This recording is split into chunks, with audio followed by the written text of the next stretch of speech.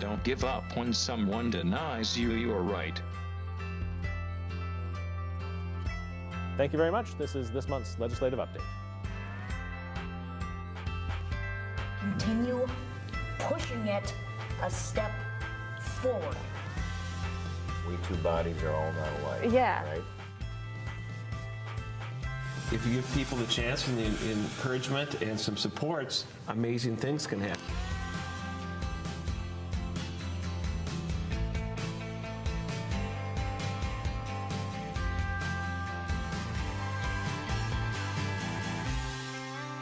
Hello, I'm Mark Hughes. Welcome to Disability Viewpoints. My very special co-host today is Amani Cruzen. Amani is a recent graduate of the University of Minnesota Hubbard School of Journalism. I'm very proud of her for that.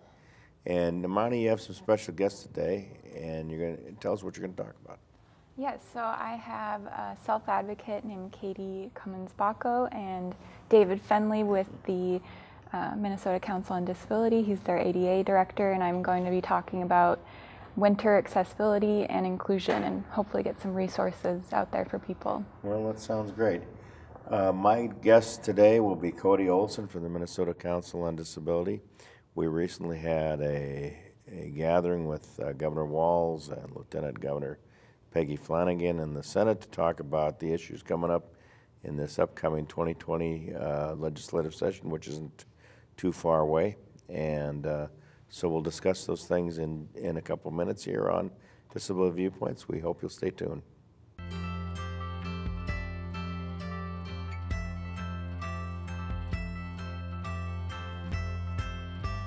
Welcome back to Disability Viewpoints. I'm Mark Hughes. With me today as my special guest is Kody Olson from the Minnesota Council on Disability.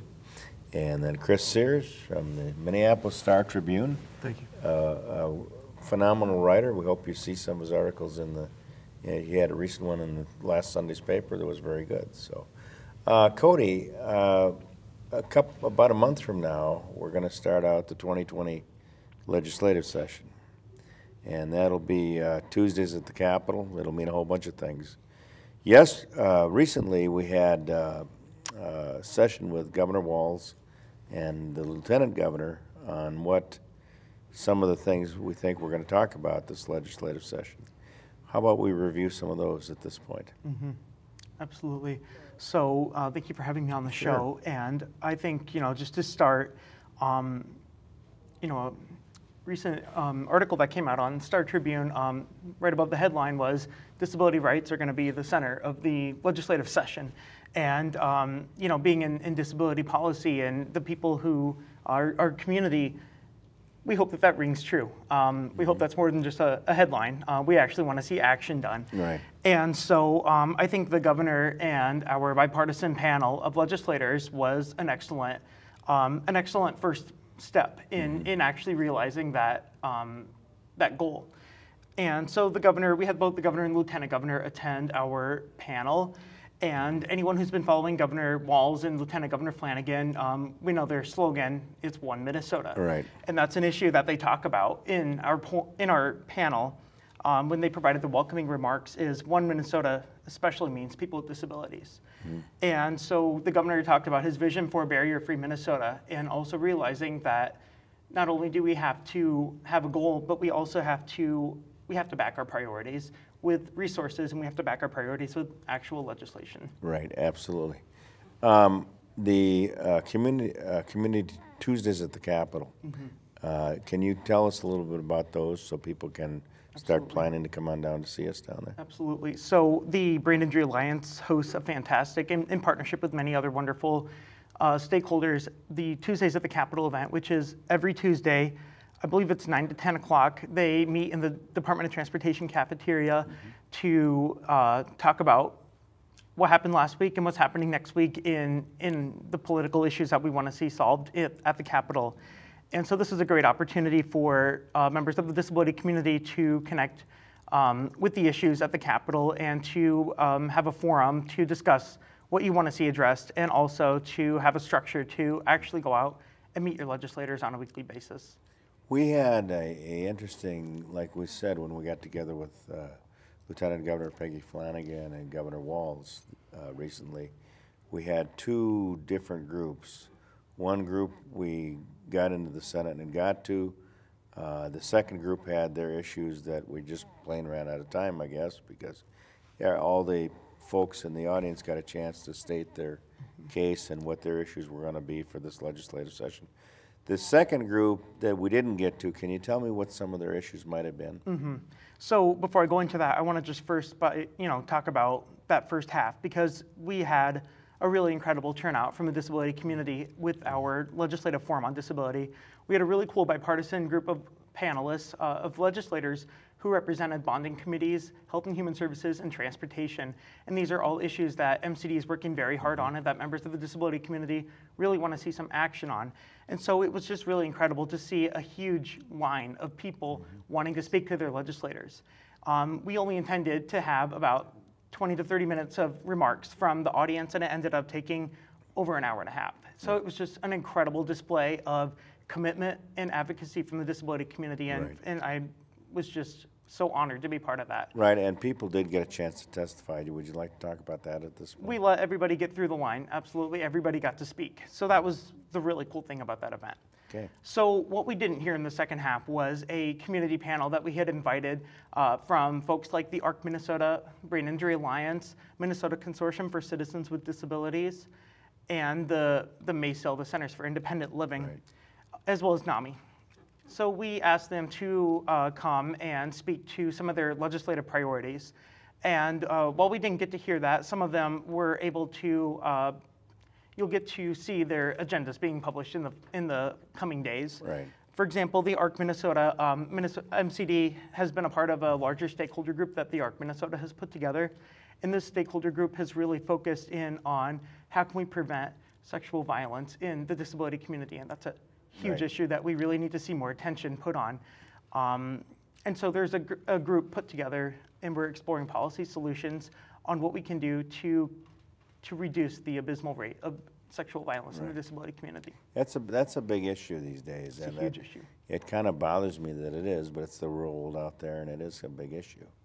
Um, I myself got up for a couple minutes and spoke on Metro Mobility, and uh, I said it's nice to have money to put forth for Metro Mobility, but it isn't always the issue. The issue at this time is, is, is management. And what I forgot to say or didn't say, and I'm going to say it now, what the plan was, uh, and that is to uh, introduce a bill to get it back to the Metropolitan Transit Com- uh, Commission, like it was in 1976, and forego the contractors and get it under one roof so that the city bus drivers who have a strong union, yes, they do, but they had, they won't lose their seniority, they'll keep their benefits, and what makes a difference, they'll stay at the same rate of pay, and they'll, they'll, whether they drive a forty-foot bus or a city bus or a Metro Mobility van, it shouldn't make a difference. I think the initial cost, because it got changed over, will be ridiculously high, but I think at the end of the day, we'll be able to streamline operations and might have a, a better run system, and then take the city map and bust it into six zones, so you have buses coming in and out and make this service uh, more efficient. However, at this point, I'm going to also say that I have talked to Sandy Masin and called for an audit with Jim Nobles. And so that'll be up and coming. And, uh, and that's what I have to say about that. But I, I just, we can't let this go on. You know, you get home at 10 to 2 in the morning, or, you know, you have a ride that changed that didn't tell you, then you got phone lines all over the place, nobody gets hold of you because nobody tried. And so that tells me that management is lax, and that's all I'll say about it. So let's cover some of the other issues at this point. Kody, go ahead. So um, another issue, um, so the Minnesota Consortium for Citizens with Disabilities um, released some of their tier one issues, which means that they're going to be fighting the hardest for. And one of those issues uh, is a similar issue that the council on, uh, is a partnership with the Council on Disability actually, and that is reforming the way that our PCA transportation is. Um, so one thing that we at the council want to do, we've been working in partnership with a lot of advocates and with different advocacy organizations. We want to see an expansion of the different types of reimbursable activities under a PCA plan, and we want that to include transportation. So we want, um, you know, we want to be able to see uh, folks who use PCA services being able to utilize their services for the purpose of transportation. Because, Mark, like you said, transportation is so important to getting around in your community. Well, it is the PCA issues first, and we have trouble with that because there, we can't pay enough. What has to happen with the PCA issue is it has to be on a tiered system per education. Then you move up to the, to the wage scale. And I think Chris has done some stories on those very things. And then the transportation next. If you're gonna have the transportation, you have the PCA, so you can go to your work or your school or whichever it is. So, do you have a final thought, Kody? I think the last thing that I want to say is, you know, there was a great comment from a legislator who said we need to stop balancing the, ba- the budget on the backs of people with disabilities. Absolutely. Um, you know, talking about that $15 an hour for PCA professionals, um, we need to, like Governor Walz said, we need to back our priorities with our resources and Right. legislation. Okay, Chris Serres, do you have any comments you wanna make? Oh, I, I just think this session is making, uh, is, is making up to be incredibly exciting. And, you know, one of the things you cited was policy.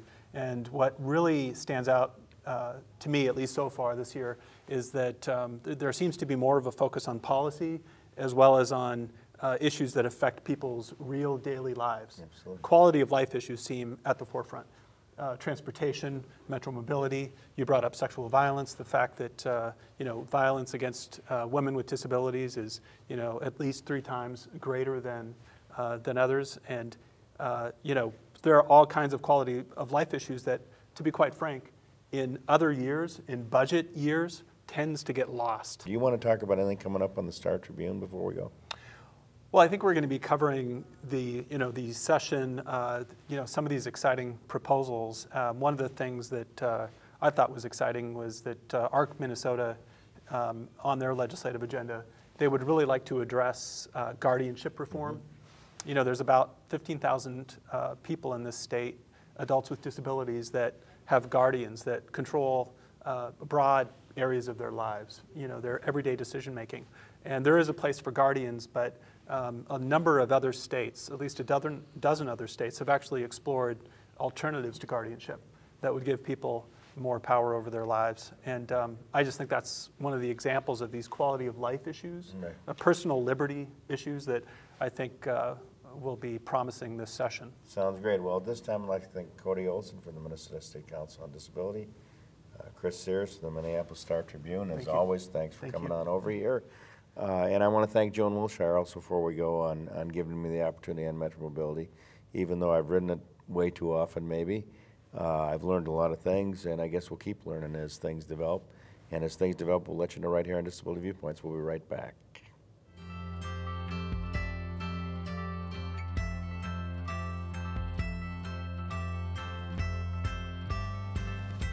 Hi, this is Imani Cruzen, and today I am speaking with self advocate Katie Cummins Bakko and David Fenley with the Minnesota Council on Disability.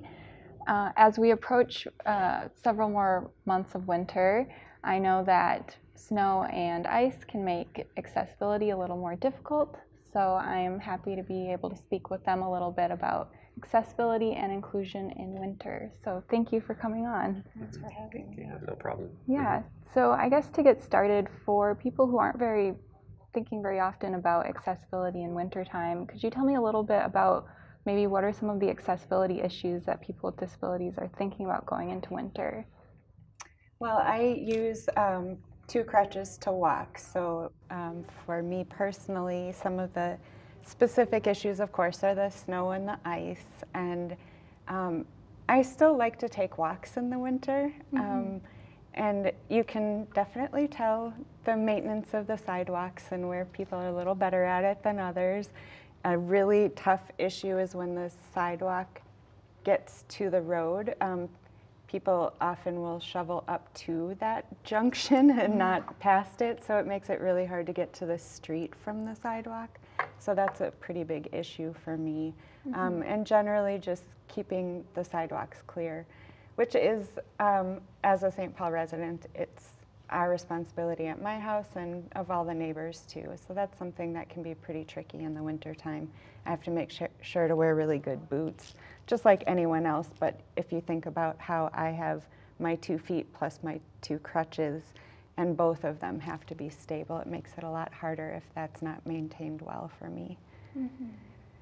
That's, I, so at the Council on Disability, I field calls uh, similar to this on a regular basis. Um, my, my disabilities don't limit my mobility, so I don't have that personal experience, but I do have some understanding of what the laws and regulations are around snow clearing.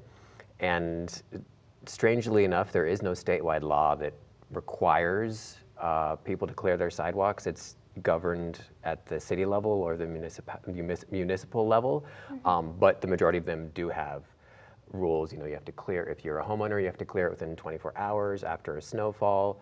Um, if you're a business owner, a lot of the times it's four hours. Um, um, but snow clearing is a major issue. There is a state law, though, that you can't put snow in disability parking spots. You'd think that would go without saying, but you know, snowplow operators sometimes think, oh, here's an open place to put snow. Yeah, no, people use that to park and have access and, you know, live independently. So don't put uh, the snow in the access aisle. It's not a free space. It's a space that's used by folks with disabilities to actually leave their house. Um, but yeah, the, a lot of times the, the whose responsibility it is to clear snow, whether it's a transportation organization, whether it's a county, whether it's a city, whether it's a business, whether it's a homeowner, um, whether it's the state, um, is is not clear. Um, and I can assist with finding out whose responsibility is to clear to clear that play that that space. But uh, it's best to usually it's best usually to go to the city if you have complaints about homeowners. Um, or if you have complaints about snow clearing in front of businesses or, or city streets, they can do a good job of directing you to the proper place to find out who needs to clear because there is a, an obligation, both city ordinances and the ADA, to keep walkways clear. Okay, and as the ADA director with the Minnesota Council on Disability, I guess, is there anything people should know um, besides what you just discussed um, when it comes to how the ADA applies to winter accessibility? So yeah, the, the, the ADA does state pretty clearly that business owners, so Title III of the ADA applies to public accommodations. That would be like the private sector, whether it's a stadium, whether it's a business, whether it's a bar, whether it's a, it's, you know, any, anywhere where you can go as a member of the public. It does state that that they need to maintain clear and accessible routes. Um, they, you know, that's the parking, that's uh, the front entrance, that's the accessible route up to the front entrance. The ADA does require that they keep that clear on a regular basis. It's not just, you know, once a week. If it snows, you know, get out there regularly and clear the snow. Um, um, so, so if, if someone who does have uh, a disability has a complaint, they can go to the Department of Human Rights. They can also call the Department of Justice if they so desire. Um, and if they need assistance in, in, in finding out who to call, they can call our agency, and we're more than happy to assist them in determining where they need to go to get snow cleared. If it's in their apartment building, if it's in front of their um, um, local business, yeah, all that, all that stuff. There is an obligation to clear that snow. That's good to know. Mhm. It's really good to know. I didn't know, as when you said I'm a self advocate, I think that's such an interesting point that more of us need to learn about. That there is so much more out there for us to help represent us and and advocate for us. I, the Target near my house does not have enough parking spots, and it becomes so much more obvious in the wintertime because it's cold for everybody. It doesn't feel good to run from your car when it's 10 degrees and snowing out, but taking accessible parking places is not the answer. And that's what I see so much more often in the winter time. And, and I'll even see somebody waiting in the car as if they're saying, well, when somebody who needs the spot comes, then I'll move. But they assume that we're going to get out and say, I need that parking spot, which I'm not going to do because getting in and out of a car is very difficult for me. And I'm only going to do it the amount of times I plan to. And if I can't park there, I go home. I don't do my grocery shopping. Um, and so in the past, I've done things like leave notes on cars. I've gone to the business and talked to them, and they don't know who they're supposed to talk to. Um, and so then I don't know who to talk to. So just, I've learned so much already today just by speaking with both of you. It, you know, that, that highlights a, a point that I encounter quite frequently. And I, I, I really view this as Like it's a cultural problem. Um, and winter, of course, magnifies that. But someone who says, "Oh, I'm just going to be here for a few minutes to run in," well, you know, you're essentially stomping on the rights of an individual with a disability to, in many instances, leave their house. You know, people view disability parking as a privilege, like, "Oh, you're so lucky you get to park so close to the door." No, it's I'm so lucky I get to leave my home. Exactly. That's what it is. It's about independence. It's not a privilege. It's it, it, it literally allows you to be to interact in the world the same way everybody else does. And folks need to hear that. Yes. Yeah. Uh, And I guess going from that, when it comes to um, individuals, what should they know when it comes to accessibility in winter, and um, even from a city perspective or um, ADA perspective, what are their responsibilities too? What I try to explain to people when I've had a situation that has been less than ideal for me as a woman with disabilities is just getting out the door was effort for me. I live in chronic pain. Um, I think my upcoming surgery will be my 28th. Um, just getting up, getting dressed, and out the door was already a lot of effort for me. So when I interact with somebody in the public, it's not my first struggle of the day. And so if they just think, well, what's the big deal? You just didn't get to park closer to the building. It's actually, I've burned through so much of my energy already, and I may be reaching my pain limit already in the day by the time I get there, that it's the difference between getting my groceries or not. And emotionally, it feels like they're basically saying to me, You don't matter enough to me as a community member for me to acknowledge the fact that you have the legitimate right to park here, and I don't, but I don't care. I'm going to take it anyway. Um, I think people just need to step back and imagine what life would be like for them if the most basic human right, which is to leave their home and be part of society, was removed from them because it's so isolating already. So when you make this effort to leave your home and it's stymied, you know, by the first stop you make in your day, it's very, it makes you really sad and feel really isolated. And um, like you're a second class citizen in the community. Um, Yeah, and I want, and I mean, I want understanding and empathy, not pity and oh, your life is so hard. It- it's really, it's it's a distinct difference. It and is. Society tends to focus on the oh, I feel so sorry for you. It's like I don't want your pity. Just don't park in my in my spot. Uh, yeah, there are just certain things that were given to even the playing field. I, I love the fact that I have crutches because they're my ticket out of my door. I don't want anyone to feel sorry for me. I live my life to the fullest that I know how, um, but I just want the respect and the, the resources that were provided to me as somebody with limitations so I can live to the fullest.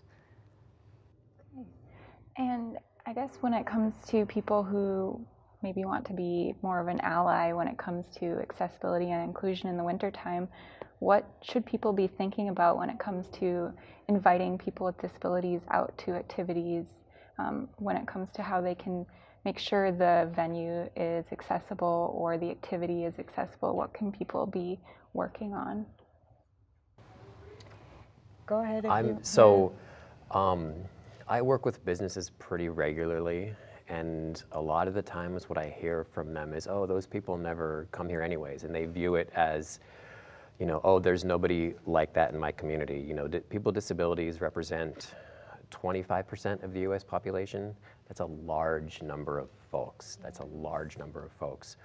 Many disabilities are not apparent. You can't see them. Um, and usually the case is, is those people aren't coming into your business and they're not frequenting your, your um, establishment because you're not accessible and they're taking their business elsewhere. Um, I, to answer your question, the first thing that I, that I would say when calling up a business is to say, are you accessible? And if they say no, say, well, then I'm going to go somewhere else and spend my money. So they know they're losing business because that is, unfortunately, that's, you know, the, the, the, one of the um, easiest ways to convince a business person that accessibility is important. Um, do you have anything to add to that? Just some general things too, like if you don't, if it's first come, first serve, if you call and say, I have a mobility issue or a disability of some kind, you need to take reservations from that person because we can't wait an hour to go sit down at a table. Um, the way somebody who is able-bodied can do that. Or, um, well, the bars in the bathroom for sure. There are places all on University that don't even have bars in the bathroom, let alone um, an accessible stall. Um, there was something else that I was thinking about. Um, Invite your friends out.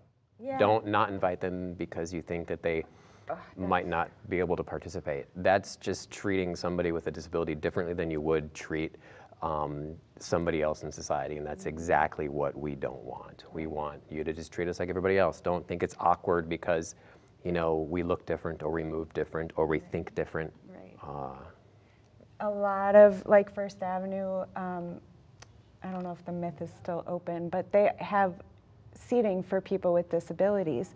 So if you have a friend who has a disability, don't even ask them. Just get seats where they can, or get tickets and then call and say, somebody I'm coming with has a disability. And then call your friend and say, I got us tickets. It's all taken care of. Just try to make it not such a big deal on the person with the disability all the time because we always feel like such a burden. So if you can take away some of those um, limitations that we have in going out with, without it being a big issue, it just normalizes so much more for us. Okay, well, thank you both for sharing your perspectives. And I think a resource for people if they want to learn more is, of course, the Minnesota Council on Disability. Um, and they can always reach out to you or anyone with the council just to learn more.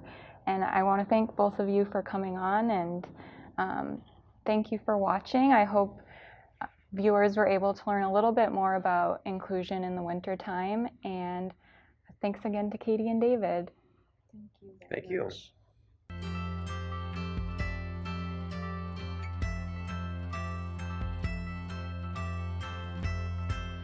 Well, already we've gone and had another edition of Disability Viewpoints. I'd like to at this time thank my guest Kody Olson from the Minnesota Council on Disability, who will be joining us for the legislative update during the legislative session this year, and Christopher Serres from the Minneapolis Star Tribune, who does an outstanding job always on here. And uh, we talked about some great issues today, and hope you'll join us for Community Tuesdays at the Capitals from 10 to 11 on Tuesdays at the Minnesota Department of Transportation cafeteria. And uh, Armani, it was an honor having you as our co-host today too.